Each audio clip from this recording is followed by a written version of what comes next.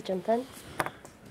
Thanks very much, Sarah, and thank you very much for uh, having me here today. Um, i came in at the beginning, it was amazing to hear the ambassador. I was really inspired. I had to duck out halfway through, uh, which in the last panel, um, it struck me just as I was listening that what we need more than anything right now is a bit of hope. And, and thank you uh, so much, Bruce. Where is Bruce? Where are you? Have you ducked out? He's left. But um, it's, it's great to hear Bruce. I always feel encouraged at hearing him. Um, I feel like we're at a moment of opportunity uh, here. Things are changing, things are breaking down. And while there is a lot of pain involved in that and a lot of uncertainty, and the risks and the threats are incredibly high, it also means that it's a moment of opportunity. Share the frustration of CND. You know, the Green political movement shares its roots very much with CND in the fight for disarmament. We are pro peace at our core. We are unapologetically and unwaveringly opposed to nuclear weaponry. We have been since our conception. But sometimes it's very hard to look around and see that hope, see how things are going to change. But you know what? I think people are realizing that the system is no longer working. For the first time, we have an entire generation who are going to be worse off than their, uh, the generation that's gone before, and people are realizing that. Uh, there is uh, unrest um, emerging in no uncertain terms. We heard uh, mentioned just now by Ray the anti fracking protests, and we're seeing right around the country dissent, uh, people rising up, people in all sorts of different areas. Uh, opposing deportation flights, for example, the Stansted 15, uh, who have just been convicted under anti terror laws, uh, potentially to life imprisonment for stopping a deportation flight. But what they did was right because people had a chance to appeal on that flight and stay in the country. They are uh, our moral conscience, and we stand on their shoulders now. Uh, we can see Extinction Rebellion fighting climate change, and people are also starting to make the links uh, between the nuclear industry, uh, between nuclear weapons, as we just heard, with climate change, as Bruce made that link beautifully, and with the economic system, as you heard, with the military industrial complex and the big vested interests. The dots are starting to be joined, and people seeing that the system isn't working and that we need something new and something alternative. So I'm excited. I worked in the House of Commons in the early 1990s, and this is a story I tell quite often, but it gives me hope. And one of my heroes then was uh, a backbencher, a Labour backbencher called Tony Benn. The older members here will remember him well. Like him or loathe him, he was a bit of a marmite politician. He divided opinion. You had to respect his 50 years working at the political coalface. And when he retired, he said, I'm leaving the House of Commons to concentrate on politics. I'm leaving the House of Commons to concentrate on politics. And it's his conviction that it was movements that changed things, these big seismic shifts. And around that time, I got a letter about 1995 across my desk uh, from an academic um, from a Scottish university. Said, I've got this great idea. Why don't, in the year 2000, we cancel uh, some of the debts of the most indebted nations in the world? I have to confess, I nearly fell off my chair laughing, thinking, this is never going to happen. No one is talking about this. No political party was talking about it. Five years later, the G8 was sitting around saying not can we cancel debt in the developing world, but discussing which countries' debts they were going to cancel. And it started to happen in a very small way, and it's still a long way to go, but it started to happen. In those five years, the agenda changed seismically because of a movement, what Tony Benn talked about, movements changing. The whole political agenda was changed because of unions coming together uh, with campaign groups, with aid agencies, with church groups. And they had a big ring round, I think it was a G8 in Birmingham, 60,000 people went around the city and they joined hands. MPs were getting pound coins delivered to their offices, I remember, in Westminster. Uh, people writing in saying, use this pound to cancel some of the debt in the developing world. and the MPs had all these pound coins on the desk going, I don't know what to do with these. And they were raising the issue, they were changing the agenda.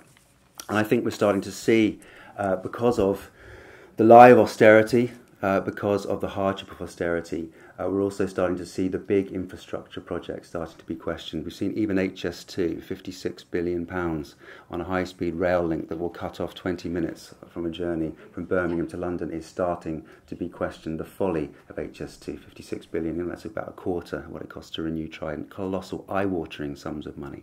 But now that's starting to be questioned. We see Hinkley, nuclear power, £36 billion it will cost on Hinkley, a reactor four other versions of which have never worked anywhere else in the world, locking us into a deal for years to come uh, at a strike price for the energy that it will produce that is already far in excess of offshore wind and onshore wind, which is now onshore wind the cheapest form of energy. And people are starting to say, well, why? Why are we spending 36 billion pounds? Why is 36 billion pounds being spent on Hinkley C when it's going to take years to come online?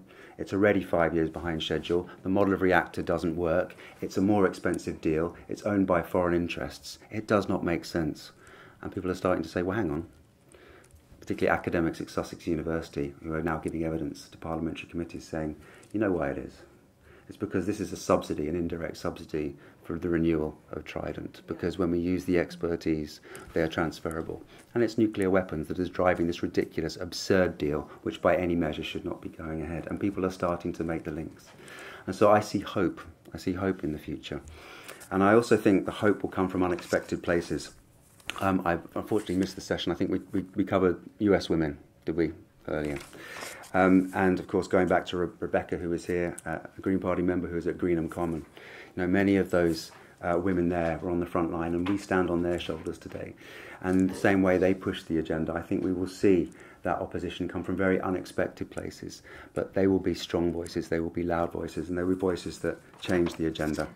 So, friends, I'm hopeful about the future. I'm hopeful about what we can achieve. I'm hopeful that as we speak truth to power, as we expose what's going on, we can see seismic change. And if we've learned anything about the last three years and all the uncertainty, is that you never know what's round the corner. If we'd been sitting here three years ago, how many of us would have predicted Brexit? How many of us would have predicted Trump in the White House? How many would have predicted the surge towards Jeremy Corbyn? How many would have predicted the Green surge in 2015? How many would have predicted the massive presence of the SNP in Parliament under an unjust electoral system? We're seeing these seismic political changes, seismic things which five years ago would have just been unthinkable. No one would have laid any money on them at all, but they are starting to happen. And friends, I believe we can win this, and I believe it will come sooner rather than later. Thank you.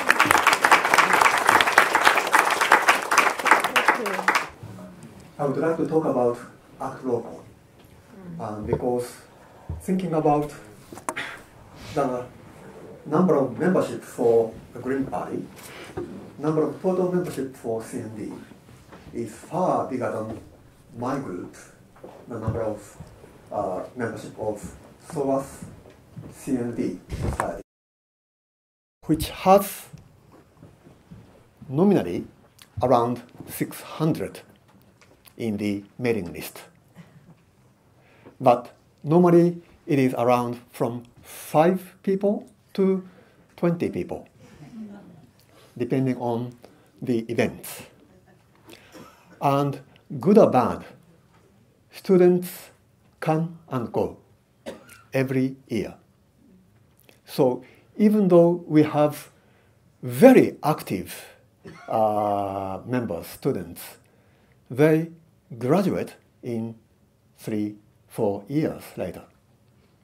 But it means at the same time, we every year have new people. And some of them are really politically active and motivated. Problem is, maybe, if we do not recruit them, they will restart to be, uh, we, they will be active in other campaigning and other uh, societies. And uh, let me uh, talk about specifically. Um, uh, first, I am not young. Now I am 49 years old. This year I will become 50. But I am still here in school as student because I want to do something, something more. And I have got involved with CND's campaigning, Stop the Wars campaigning, and together with some of my friends, I have set up Japanese Against Nuclear UK, a small Japanese group in UK to oppose specifically against nuclear power after Fukushima nuclear accident I would like to do anything I want to do, anything I can do. But because of this, sometimes I feel depressed with a very small capability of myself. It is really limited, and I often uh, get beaten by the tough reality. But yet, at the same time, I can find that there are so big possibilities. Um, after bikini test by the US in 1950s, only 20 women in Suginami Ward in Tokyo started campaigning for the petition against nuclear weapons.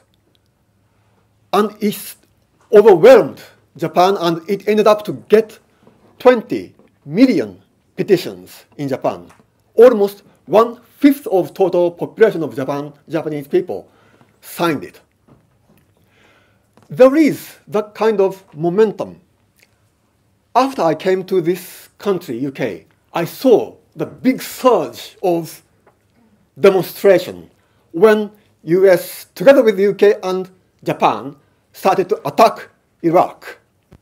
It was described as UK's biggest, historically biggest political demonstration. But it was also the biggest demonstration I have ever experienced, and it gave me dream, hope, possibility for the future that we can change the society by our own hands when, if we stand together. And uh, one of the new students this academic year, has got involved in Japan already with Gensuikin, which is equivalent to UK's CND. CND started in the UK in 1958, so last year was 60 years old for CND. Gensuikin is three years old, three years older than CND. It started in 1955, two years after Godzilla, the first premiere of um, nuclear monster Godzilla was screened in Japan. It was the period that many nuclear tests have been taken, but yet many people in Japan in those days felt that it didn't have anything to do with us. So it is clear that when momentum comes, people make an action. But it is, at the same time, it is really important to begin the campaigning even before we see momentum. That's what I have experienced through my own experience. And in terms of Gensuikin, um, that male students have already got involved with Gensuikin movement and helped Gensuikin to translate uh, their documents into English, and they, he uh, came to join CND UK's annual general conference last year. And another student came from Okinawa, Japan, which has US bases and have been suffered from it for many years. And in terms of nuclear weapons, now it has been revealed that US has freely brought nuclear weapons with nuclear submarine to Okinawa with the secret pact with the Prime Minister Sato uh, already 30, 40 years ago. But it was revealed only last year that there was such a secret pact between US and Japan.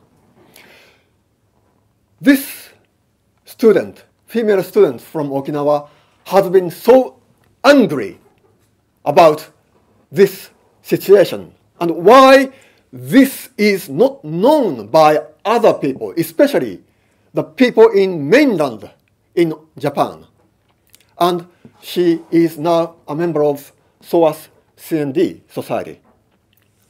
And we have some students. One has already got involved with Labour Party activity. One CND activity in his um, sixth form school days, and one with Green Party activity. And they are now members of SOAS CND Society. Unfortunately, none of them are here today. but uh, um, what I wanted to say is uh, this one is uh, uh our new program, the reading group of Again, the manga uh, written by, drawn by uh, Hiroshima survivor Keiji Nakazawa, who died unfortunately three years ago. but one of the students, actually he has already graduated, so ex-student, but uh, kept getting involved with our society uh, action, uh, just started this activity, weekly uh, reading group from Monday next week. And this one is proposed by one of the postgraduate uh, students uh, who is already a writer and a military analyst who uh, once studied in North Korea. And actually, he is a supporter of nuclear weapons in North Korea. Okay, so uh, I disagree with uh, his idea on that case. But yet, um, we decided to have public meeting like this. And also, um, together with our friends with Jan UK and Kick Nuclear, uh, again, we will have three events in March. One video in front of Japanese embassy on the very day, 11th of March, when Japan was hit by earthquake, tsunami, and nuclear accident, and then demonstration later on Saturday 16th of March from Japanese embassy to the parliament, and then having rally in front of the parliament, and then parliamentary public meeting. And also, uh, because one of the mother has proposed it, we will have one more event, the tw- Wednesday 20th of March, the public meeting with mothers from Fukushima here in SOAS, like this. As just because I'm here, um, not a few people asked me to work together to have meetings, events, and uh, I am quite sure the same thing will be, should be applied to everybody. We should know someone who want to do something. So, thank you for all of you to be here. And uh, let's continue to work uh, this uh, potential uh, activity, which is uh, open to the future. And when you have a chance to talk to youngsters, students, don't hesitate to talk about this political uh, issue. They, maybe not all of them, but some of them are waiting to get involved. Thank you very much.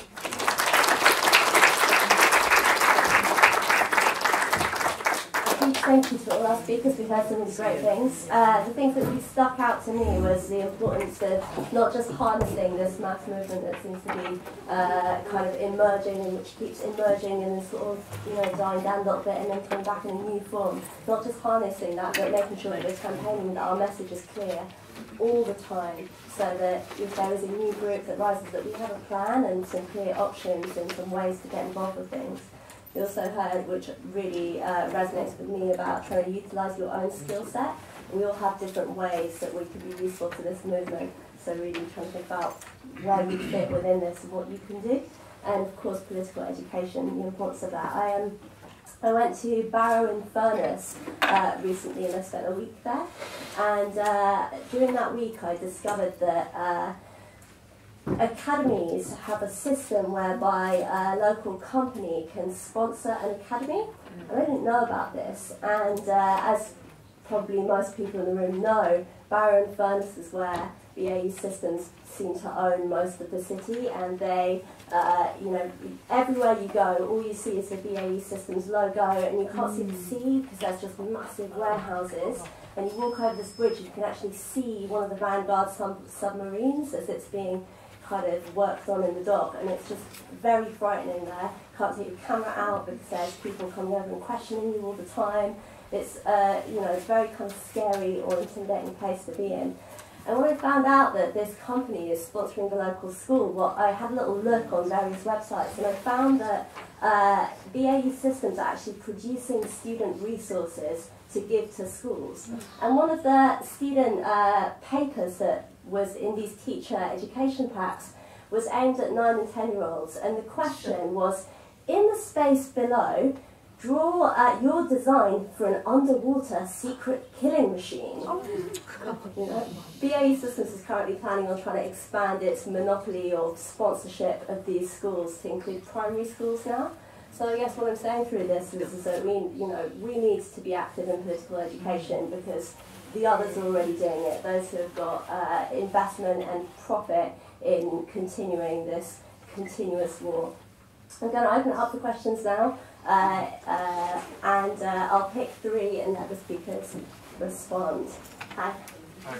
Yeah, um, on your point about education and the role of education in all of this, I think um, my general point is that we kind of neglect too long that we look at like how to solve kind of all these issues that we spoke about today, we need to be educated, we need to come to things like this and kind of have these discussions, but I feel like so off, so little do we reverse the arrow and point education to war, uh, well, yeah, education to war, and actually look at the way through the education system, like you were saying, and through the curriculum, especially like we look at the last five years, or since 2010 more specifically, how bad curriculum's got in terms of who controls it. I feel like we do. I feel like I, I feel like there's got to be long-term consequences of that in terms of you know in terms of schools and how people actually perceive these issues and like the, the role of a teacher and the capacity of a teacher to kind of discuss these issues in a classroom. I mean, uh, if you're discussing things like World War II, for example, uh, I'm pretty sure a teacher in a school, if they started talking about disarmament and stuff, you know, they're going to be looked at um, not following the curriculum and, you know, kind of stepping outside the discourse. So I think it'll be interesting to hear, especially from Jonathan, in a polit uh, political aspect, like what can we do to change curriculum, to change the discourse in education in schools more specifically? Um, yeah, I think that's a question. Thanks. Um, could, could you explain, it sounds like a very obvious question, but why are the nuclear Trident, etc., why are they so expensive and who audits where all this money goes? Because it seems, you know, to me, it can't be that expensive so I was going to make two points, but the gentleman over there has made a really good point about political education.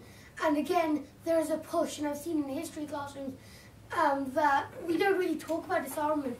We talk about how each country was trying to progress, and that they developed and they became a better country by introducing nuclear infrastructure. And we don't see it as actually we're bringing more war and that we're ending peacetime by introducing nuclear weapons and this generation is being taught that nuclear weapons is the way forward and this is how a country progresses. So my first question was going to be, I think he's made a very good point, how can we persuade young people that disarmament is the way forward and it's the way that will bring peace? My second question was, I mean, Jonathan made a very good point, um, that we can make impacts on uh, second world and third world countries by just making little steps. Do you think, or what do you think Britain could or should do try to persuade other countries to veer away from pushing towards nuclear weapons because lots of countries like like India and Pakistan and the and the like are pushing towards nuclear weapons. But is there any way, and what do you think Britain should do to push forward against the expansion of nuclear programs across the world? Thank you. I'm going to let the speakers respond and then I'll take some more questions. Can I just briefly say that I think you should be the next Prime Minister What's your name? Sean. Sean. Great name. Who wants to begin? Yeah, um, or just other people might have. I'll, I'll come to your point because it's specifically directed to me. Um, I mean, in terms of other countries, I think we've got to lead by example. Yes. I, um, you know, you can't sign up to a non-proliferation treaty and then you try it, you know, it's, it's absurd. We have to show moral leadership.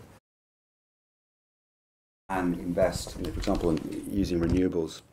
You know, we've seen this government cut and cut and cut and cut the subsidies for renewables. Um, you know, off, onshore wind doesn't really need them any longer. Um, it's become you know the cheapest form, but the solar feed-in tariffs were cut, pulled the rug from under a, a, a, flourishing solar industry. Now, we could be exporting that technology around the world, making it cheaper, exporting that expertise, benefiting the world, showing leadership, rather than you know investing in nuclear power. So, um, which subsidises the, the, the weapons. So, it is very much leading by example. Would be my, my short question. Just answer to the question on education, I think this is so crucial. We have an education system that's geared up towards creating economic units to compete in a global marketplace.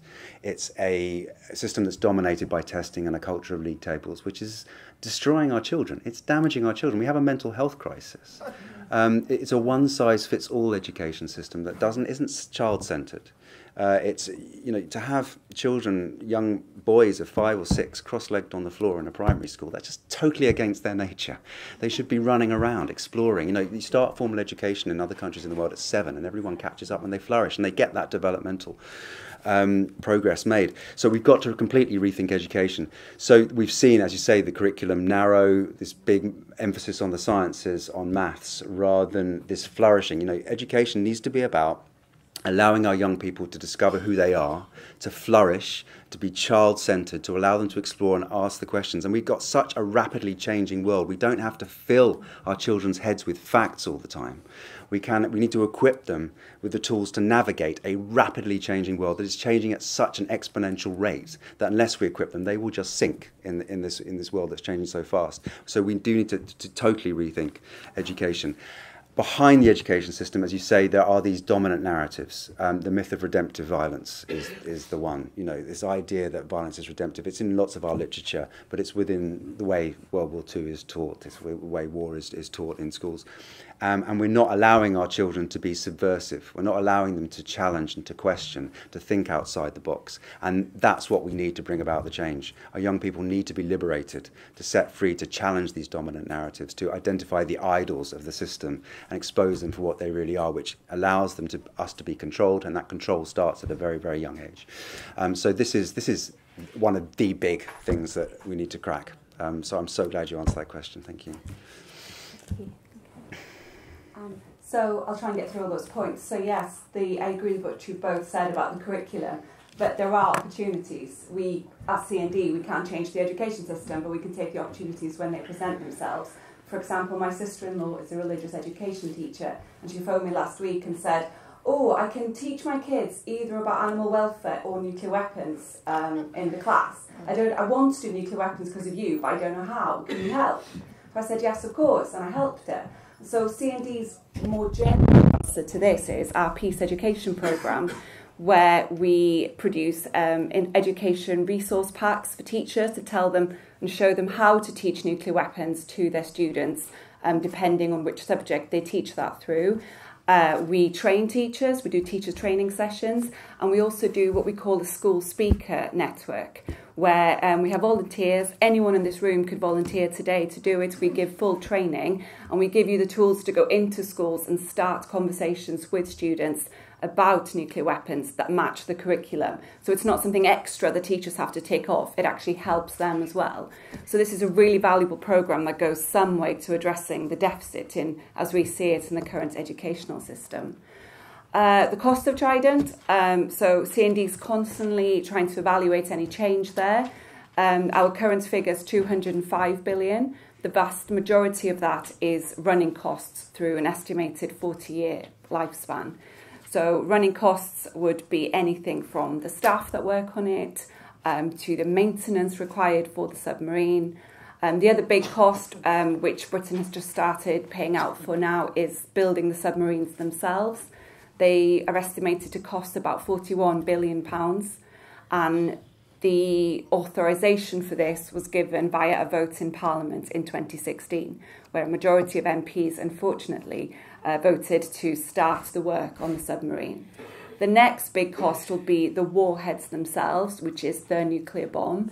Um, a vote on this is expected in the next five years. So that'll be the next stage where we can mobilise our MPs to vote against um, a financial decision on Trident. Does anyone audit it? Um, so yes, um, not officially, um, but the um, there's a committee in Parliament um, that is very good at keeping an eye um, on how it's spent because MOD projects notoriously go over budget. The average is they go a third over budget on each project. So there are MPs and committees that are holding um, the project to account, but that doesn't stop the project from going ahead. These committees don't have the authority to stop the project, they can only ask the questions. Um, and then, yes, we'd be a hypocrite to tell any other country to get rid of its nuclear weapons without getting rid of them ourselves.